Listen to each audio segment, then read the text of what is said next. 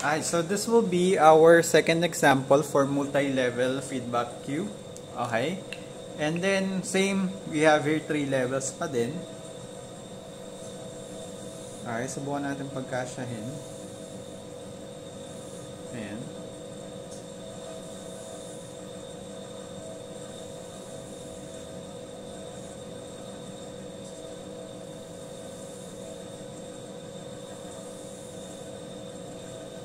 Okay, so again, time 0 lahat sila mag-start. This will be 1 and then this will be 2. So, SJF pa din yung naka-assign. Okay? So, yan. Now, in this case, ganun pa din yung gagawin natin. So, check natin earliest arrival. So, dito sa part na to, kahit dito mo na lang siya i-represent. So, yan. So, this will end at time 3 kasi yun yung earliest arrival time natin. Okay, so nagkaroon tayo ng idle time dito. Kamukha ng mga una kasi basically walang dumating ng time 0. Kaya we'll be having time 3 na start. So pinakamaganda darating si P4. So ayan. P4 natin, ang burst time niya is uh, 3. And then, double check natin dito. So this will be P4. Pagdaan niya dito, so this will be 4. Okay, so bakit naging 4? Again, assigned quantum dito is 1 lang. Kaya pagdaan niya doon is 1 quantum lang yung nabawas. Now, so bababa yun dito. Ayan, yung si P4. And then, pwede ka na ba i-process si P4? So, pwede na. Kasi, wala namang nasa taas pa. Next na darating is time 8. So, nag-start tayo ng 4. So, doon tayo mag-start. So, we'll be having P4 again. So, 2 quantums yung kailangan. Sakto 2 yung burst time. So, this will be 0 na.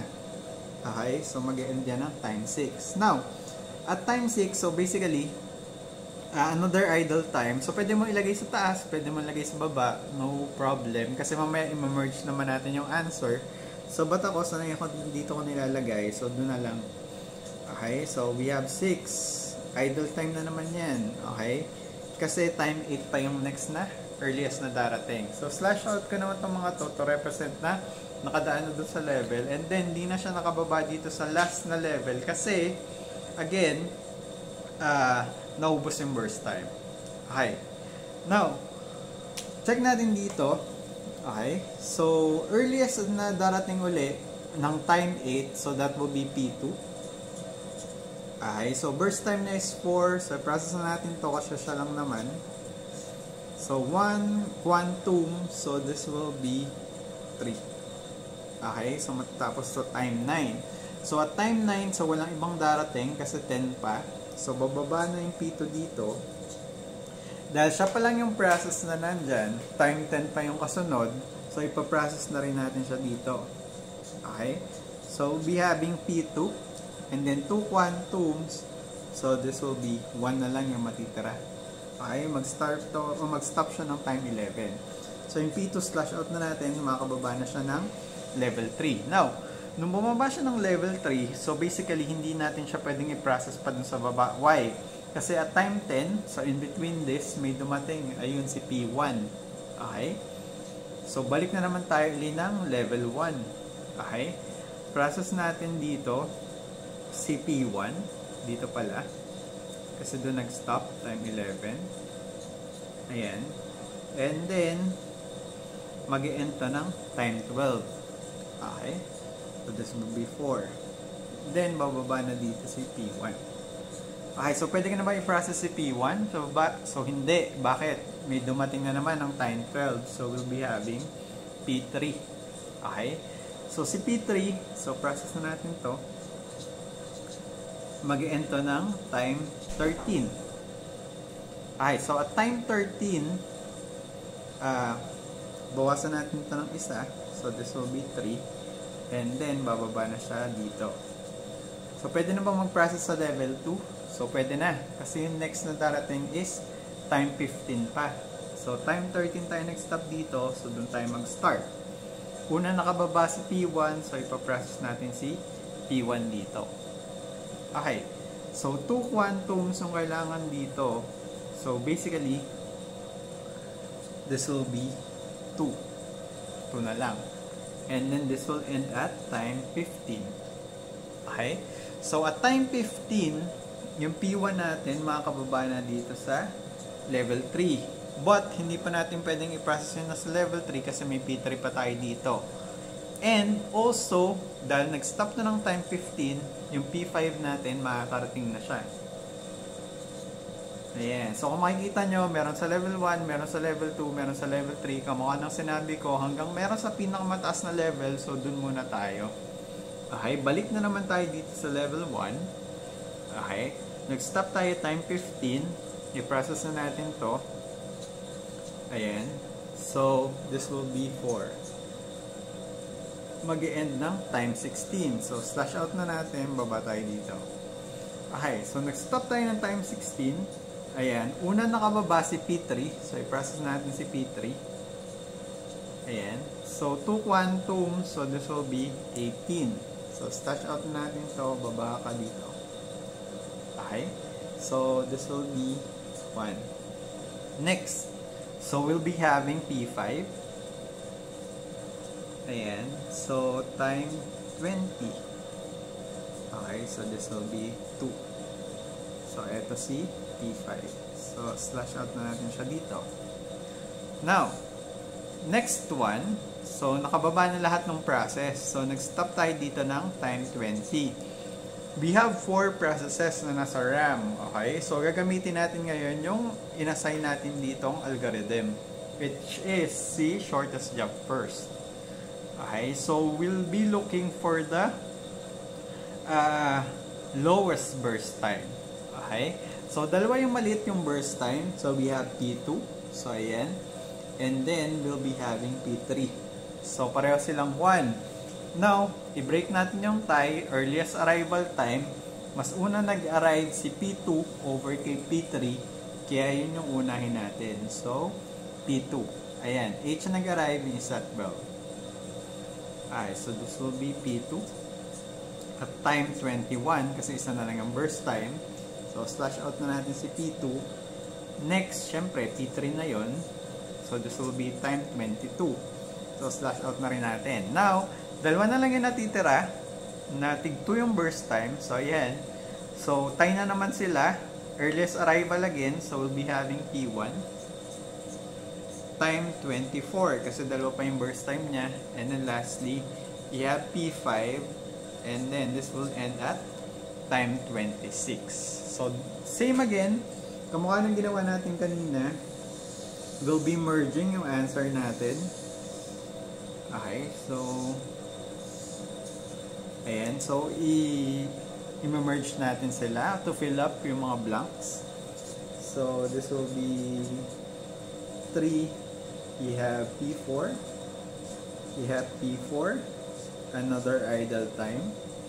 You have P2 and then P2, P1, P3, P1, P5, P3, P5, P2, P3, P1, and then we have P5.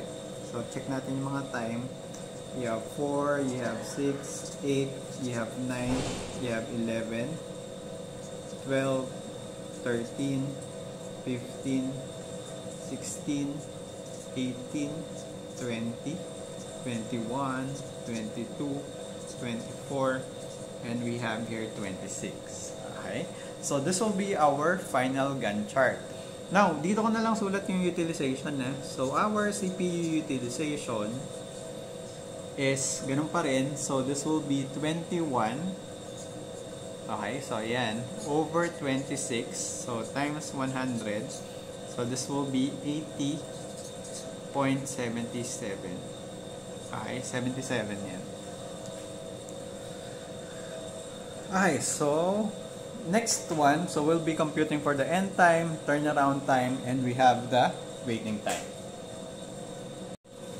Okay, so check natin again yung end time turnaround time and waiting time. Okay? So P5, so you'll be having 26. So P1, 24. So P3 is 22. So, double check nyo yung mga sulat, ha? Kasi yan, kamukha ako, pangit magsulat. Okay. So, P4, ayun, 6. Okay, so, end time minus arrival. So, this will be 14. And then, so, this will be 10. This will be 3. And then, this will be 11. So, ilan to? Okay, 13. Okay. Now, turnaround minus burst time. So, dun sa original again. So, this will be 9. So, this will be 9. This will be 6. 0. And then we have here 6. Okay? Alright, so for the average turnaround time, so yan, so we'll be having 51 over 5. So this will be 10.20. And then for the average waiting time, so this will be 30 over 5. So this will be 6. Okay? So that will be for multi-level feedback queue. So now, Okay, so to clarify things lang, so try natin i-assume na kunyari, yung burst time ng P4 natin dito is 10. Okay, so anong mangyayari sa kanya? Pagdaan niya sa unang level, so magiging 9 na lang yung burst time. Pagdaan niya sa second level, magiging 7 na lang yung burst time na makakababa siya dito. Okay, dahil may 7 pa siyang burst time. Now, pagbaba niya dito sa baba, automatically, uubusin natin lahat ng burst time niya. Bakit? Kasi nakalagay dito is SJF. Okay, ang nature ni SJF is non-preemptive. So, magmamatter pa rin yun dito. Okay?